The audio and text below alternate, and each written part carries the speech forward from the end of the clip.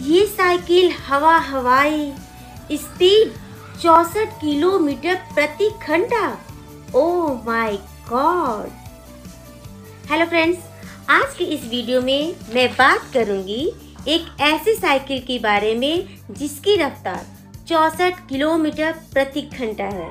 जी हाँ इस साइकिल को पश्चिमी जापान के फुकुओका शहर के दसवीं क्लास के छात्रों ने बनाया है। जो कि हवा से चलती है।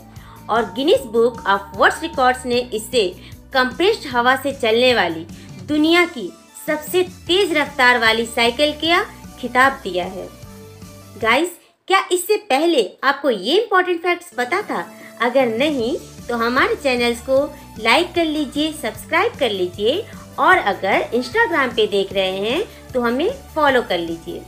और चूँकि हमारे वीडियोस जनरल नॉलेज से रिलेटेड होते हैं तो यदि आपको लगता है कि यह हमारा वीडियो किसी भी कम्पिटिटिव एग्ज़ाम्स के तैयारी करने वाले बच्चों के लिए हेल्पफुल साबित हो सकता है तो उसे शेयर कर दीजिए। मिलते हैं अगले वीडियो में। Thank you